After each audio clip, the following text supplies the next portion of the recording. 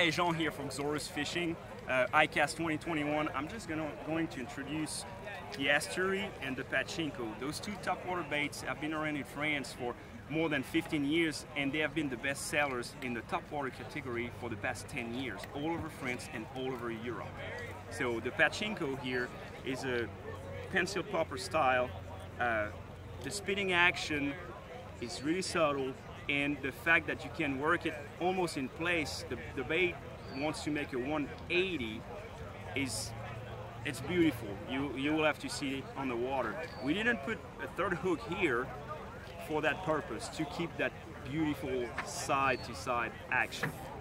So here we have the Asturie, probably one of the easiest top water bait uh, to work.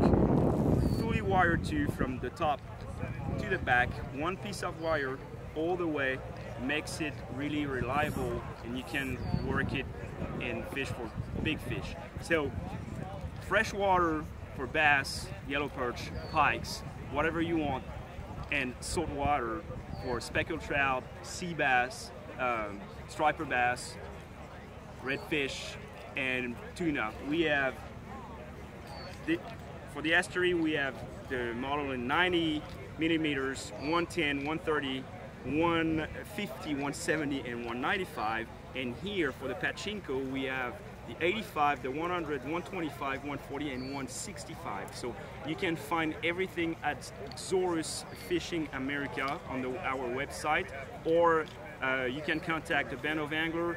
It's our distributor for uh, the US.